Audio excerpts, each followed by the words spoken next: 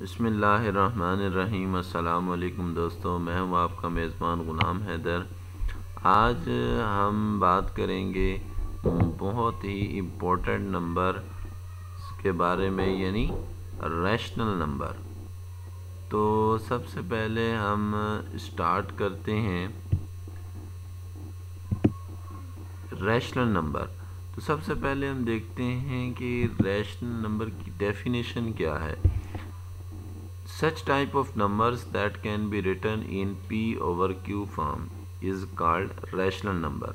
ٹھیک ہے، ایسے نمبر جو پی اوور کیو فارم میں لکھے جائیں، انہیں ہم ریشنل نمبر بولتے ہیں۔ ٹھیک ہے، اور میتھمیٹیکلی کس طرح؟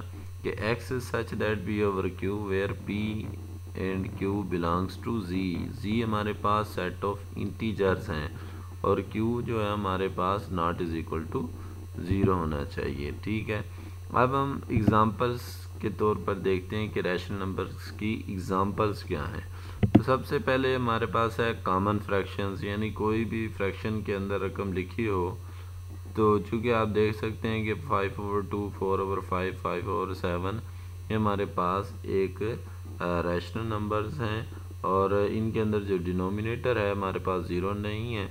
اور یہ انٹیجرز ہیں، ٹھیک ہے؟ سیکنڈ ایگزامپل کے اندر ہم دیکھتے ہیں مکسڈ فریکشنز ٹھیک ہے؟ تو یہ بھی ہمارے پاس ریشنل نمبر کی ایگزامپل ہے اور لاسٹ پہ ہمارے پاس جتنے بھی پرفیکٹ سکیئرز ہیں یعنی four nine sixteen one sixty nine وغیرہ، یہ بھی ہمارے پاس سارے ریشنل نمبرز ہوتے ہیں۔ تو امید کرتا ہوں دوستو کہ آپ کو یہ ویڈیو پسند آئی ہوگی۔ ہمارا نیکسٹ پارٹ جو ہے، وہ ہمارے پاس ار ریشنل نمبرز کے بارے میں ہوگا۔ تو آپ میرے چینل کو لائک اور سبسکرائب کرنا مت بھولیے گا۔ اللہ حافظ۔